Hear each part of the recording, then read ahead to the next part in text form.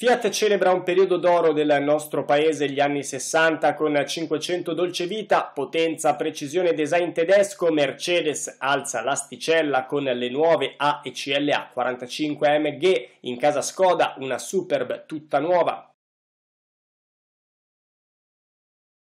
Il 4 luglio non è soltanto la data della festa di indipendenza americana in casa Fiat, il quarto giorno del settimo mese dell'anno, rappresenta infatti il compleanno della 500, un'icona capace di far innamorare negli anni decine di generazioni. La casa quest'anno ha deciso di celebrare la ricorrenza con una versione speciale, si chiama 500 Dolce Vita e come si può immaginare vuole fare rivivere un periodo storico unico per il nostro paese, quello degli anni 60, disponibile nella versione cabrio berlina con tetto in vetro si caratterizza per alcuni tocchi di classe che non passano di certo inosservati. All'interno la plancia in legno nautico, i sedili in pelle frau colore avorio con board e logo 500 ricamati. La 500 Dolce Vita amplia la collezione di oltre 30 serie speciali nate negli ultimi 12 anni che hanno contribuito al successo del modello leader in Europa nel suo segmento. Da due anni è l'auto più venduta di FCA che di recente ha raggiunto il record di 3 milioni di unità vendute in Europa,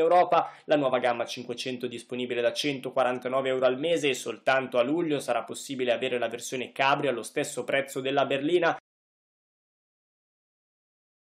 la parola d'ordine è alte prestazioni alla quale si affiancano dinamica di guida unica e sorprendente e un design a dir poco cattivo. Sono i tratti distintivi delle nuove MG A45 CLA 45 sportive compatte di Mercedes, vetture che si confermano ai vertici della categoria proseguendo la tradizione di successo del marchio tedesco e battendo nuovi e strabilianti record. Il motore da 2 litri completamente riprogettato è in assoluto il più potente 4 cilindri turbo mai costruito per la produzione in grande serie ed è disponibile disponibile in due livelli di potenza, già la motorizzazione d'ingresso da 387 cavalli è più potente di 6 cavalli rispetto al modello precedente, la versione MGS con 421 cavalli si spinge in una categoria di vetture decisamente superiore, il nuovo cambio a doppia frizione a 8 marce assicura accoppiamenti perfetti in qualsiasi situazione. Cambi di marcia di pochi millisecondi, la trazione integrale attiva completamente variabile ripartisce la forza in modo selettivo tra le ruote posteriori mediante l'AMG Torque Torque Control assicurando massima trazione con tanto di drift mode